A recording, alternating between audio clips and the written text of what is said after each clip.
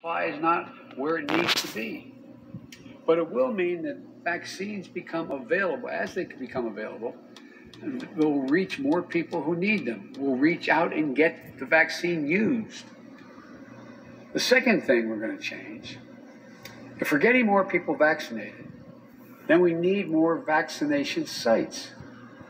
That's where we're going to harness the full resources of the federal government to establish thousands of community vaccination centers. FEMA centers.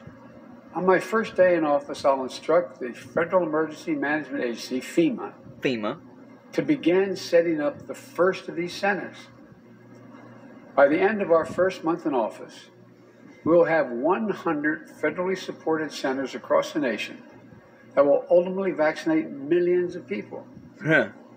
You think? Think of the places that are convenient and accessible school gymnasiums, sports stadiums, community centers.